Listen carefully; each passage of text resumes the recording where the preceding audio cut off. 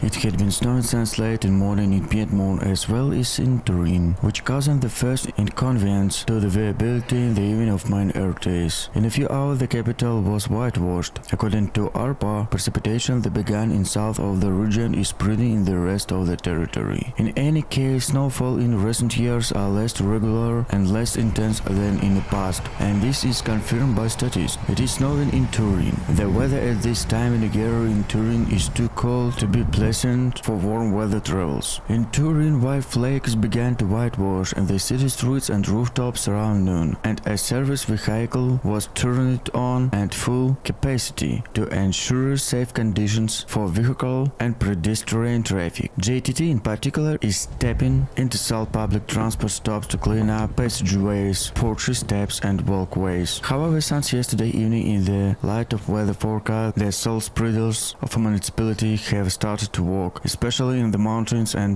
foothills, and with the beginning of rain the first snowballs have also started to walk, especially on the hill roads.